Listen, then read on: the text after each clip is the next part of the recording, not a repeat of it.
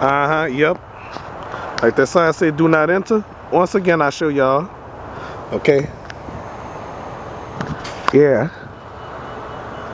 Yeah, talk about talk about having having a relaxing day like on vacation, okay? Yep.